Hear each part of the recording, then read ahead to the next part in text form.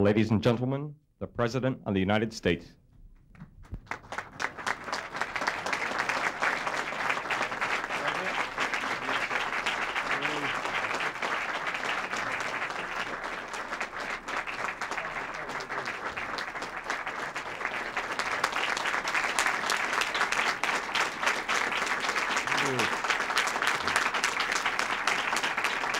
Thank you.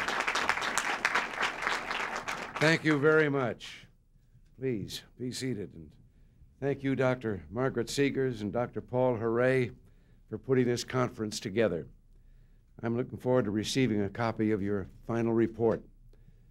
It's a pleasure to be here today with the presidents and supporters of colleges and universities that has meant so much to American life. From the day the first black college, Cheyney University, opened its doors in 1837, the institutions that you represent and support have been an important and irreplaceable pillar in both higher education and the struggle against injustice in our country. At the time Cheyney admitted its first student, it was actually against the law in parts of the country to teach black children to read and write. From that time to this, education has been the spark to light the torch of hope and opportunity for black Americans. That's why men like Frederick Douglass, Booker T. Washington, Dr. Martin Luther King Jr. understood and stressed the importance of education. As Frederick Douglass once said, a little learning indeed may be a dangerous thing, but the want of learning is a calamity to any people. Today, your schools award the some 40% of all degrees that are earned by black students in the United States, 85% of black physicians, 60% of black pharmacists, 40% of black attorneys, 50% of black engineers, and 75% of black military officers, and 80% of black judges are graduates of America's 101 historically black colleges and universities. You know, mentioning military officers, Martin Luther King used to remind us that black Americans are among our greatest patriots. And I take special pride in mentioning this because I remember during the war, I narrated a film about a group of such patriots, pilots being trained at Tuskegee, including one who would go on to become a great general and a national hero, Chappie James. And even though I was only a member of the Horse Cavalry, I can't tell you how proud I am that they made me an honorary member of the Tuskegee Airmen.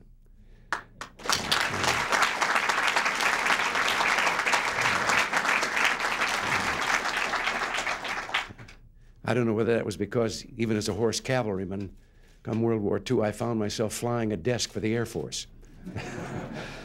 but I'm proud, too, that the tradition of patriotism I saw when I was working on that film is being carried on to the strong ROTC programs on many of your campuses.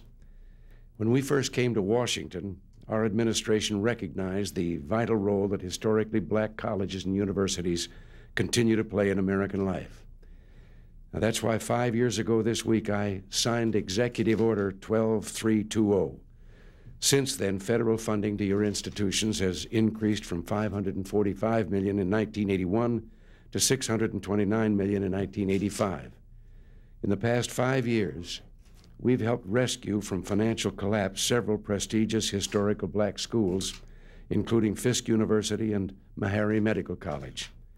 We also helped to improve the administrative infrastructure of many historically black colleges, and that's helped to make them more of, of what they have. And of course, our work continues. And in a goal that I believe is particularly important, we've encouraged greater private participation in your colleges and universities. It's part of our whole approach, really. For too long, well meaning government programs had lured too many Americans into the deep, dark caverns of dependency.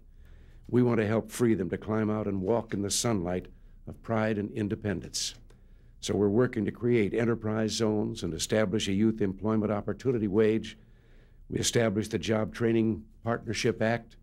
We cut taxes for all Americans, and with tax reform, perhaps the greatest anti poverty program in history, we'll take 6 million lower income Americans off the rolls entirely. And we've also said that helping ensure the health and independence of your schools was, is, and will be one of the most important steps we can take in making ours truly an opportunity society for all Americans. So that's why we're here today to recognize some of the partnerships between business and historically black colleges in the fields of science and technology. And I understand that in the past two days, you've talked about how to encourage more of those partnerships. America today is pioneering a new industrial revolution, a revolution that's creating new jobs, new technologies, new businesses, and new opportunities, and changing the way we think and work. A revolution in which America is the world leader. A revolution so profound that some believe that it's only compatible with free societies and that once it pierces the walls of the communist world, those walls may begin to crumble and fall. Many graduates of your schools have helped lead our nation in this revolution. For example, an American hero, Dr. Ronald McNair, who was a graduate of North Carolina A&T State University and a member of the Challenger shuttle crew. We need more young men and women of genius and courage like Dr. McNair if we're to continue to lead this revolution. This week, I'm told, you've discussed such imaginative proposals as tapping the vast array of talent and experience in America's community of retired scientists, technologists, and, engineers. With the help of corporate research departments, private foundations, and professional societies, you will recruit retirees to serve as visiting faculty members, scholars, or researchers. You've also discussed a new partnership for science with business. Companies would adopt a department or an entire school and make a long term commitment to its development. Foundations would join with the corporate community. Already, our award winners today have blazed the trail. Partnerships such as those of Atlanta University, those between the Texas Experiment Station and Prairie View A&M University, and those between Lawrence Berkeley Laboratory and Jackson State University have shown the way to the future. Now, I've talked about the special problems and opportunities that America's historically black colleges and universities face. Let me turn for a moment, if I can, to something that faces us all, not as blacks or whites, and not just as educators, workers, or employers, but as Americans. I'm talking, of course, about the threat of drugs. Now, last Sunday, maybe you caught us, Nancy and I talked to the nation about drugs. We shared our thoughts not just as President and First Lady, but as parents and grandparents. It's not often that a fellow gets to quote his wife, but I know when I've been upstaged. and besides, Nancy said it best when she said that today there is a drug and alcohol abuse epidemic in this country, and no one is safe from it. Not you, not me, and certainly not our children, because this epidemic has their name written on it. Nearly two thirds of high school seniors use an illegal drug at least once before graduating. 40% of high school seniors have used drugs in addition to marijuana. At least 17% of the class of 1985 tried cocaine, the highest level ever, and it's going up in all groups urban and rural, college bound and not, male and female, everyone. And it doesn't stop with high school. Almost one in every five college students reports great pressure to use drugs. Some of the most eloquent voices warning against the drug plague are in this room. President Willie Robinson of Florida Memorial College put it this way recently. He said, There is a problem that is tearing the soul out of our young people. And Tuskegee President Benjamin Payton said, the use of drugs should be banned not only on campus, but in homes, in the community, and in the country. Well, that's what Nancy and I are calling on all Americans to do. I'd like to interject something. This morning, I turned on the set real quick because I knew she'd been taped and was appearing in an interview on the air. And she was asked a question about, well, where, you know, how far down does this begin? And I had forgotten this answer that she had learned on one of her trips to the various treatment centers.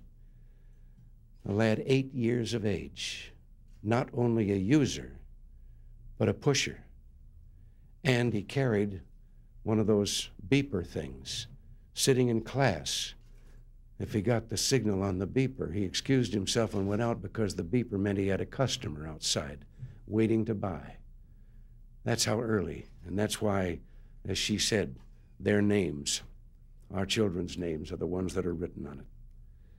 Well, the Nancy and I are calling, as I say, on all Americans to do. It won't be the campaign against drugs won with more police, although that'll help. Won't be one just with tighter control on our borders, although that will help. And it won't be one just in schools, although that's important. It won't be one just in the fraternities or sororities or dormitories, and that's important. It won't be one just in our workplaces, no matter how important they are. It won't be one just in our homes, although they're very important too. It won't be one just in any of those places. It has to be one in all of those places.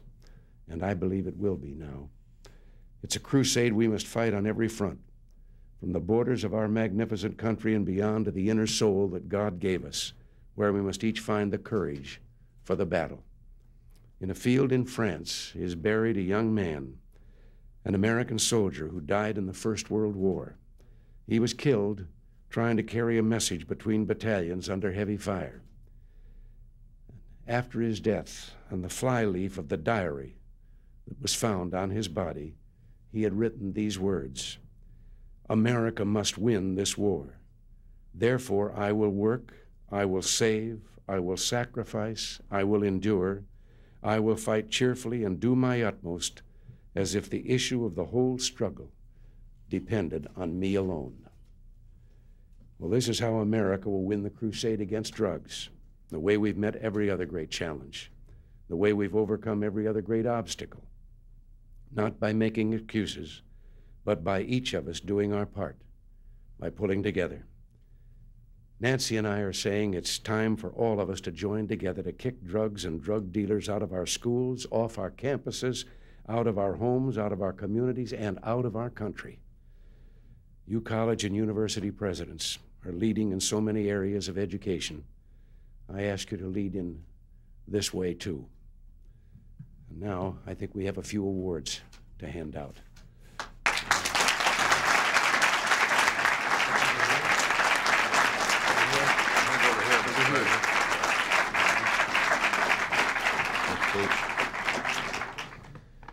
Thank you very much, Mr. President. It's now my pleasure to present to you the Historically Black Colleges and Universities Science and Technology Alliance Models awardees.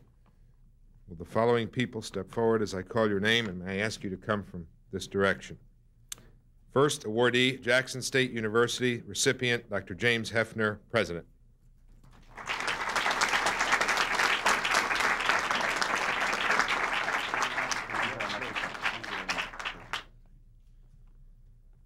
Lawrence Berkeley Laboratory, Mr. Walter Hartsaw, Associate Director.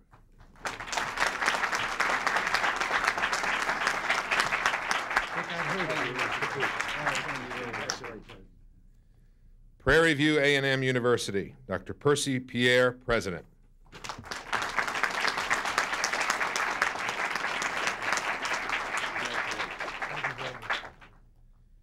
Texas A&M University, Mr. John E. Flipsy, Deputy Director.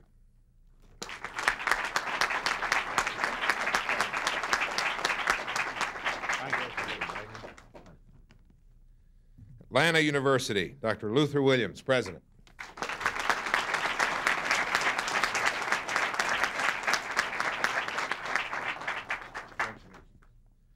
American Telephone and Telegraph Foundation, Mr. Robert Allen, President and Chief Operating Officer.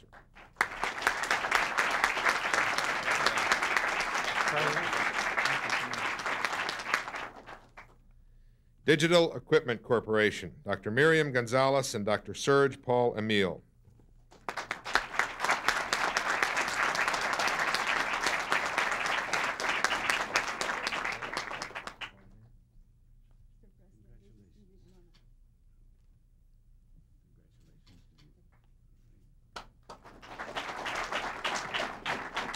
The General Motors Corporation, Dr. Priscilla Douglas, General Director.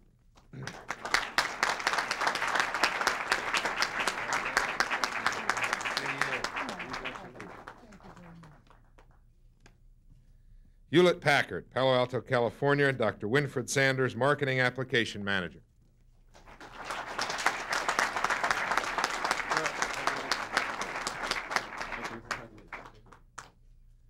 International Business Machines, Mr. Charles Bowen, Director.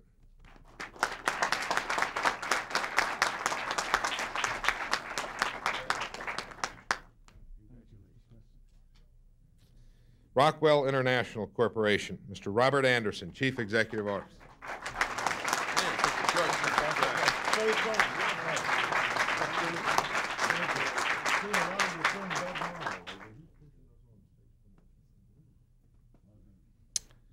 Mr. President, in addition, the following four companies are receiving awards for their contributions to this conference.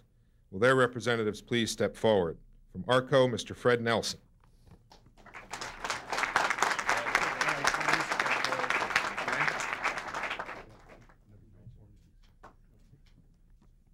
The Mott Foundation, Mr. Michael Raddick. Okay.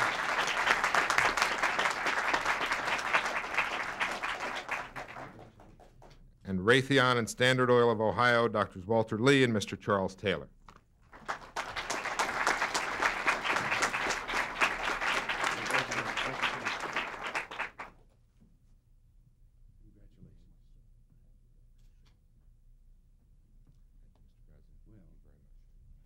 Thank you all very much. Thank you very much, Mr. President.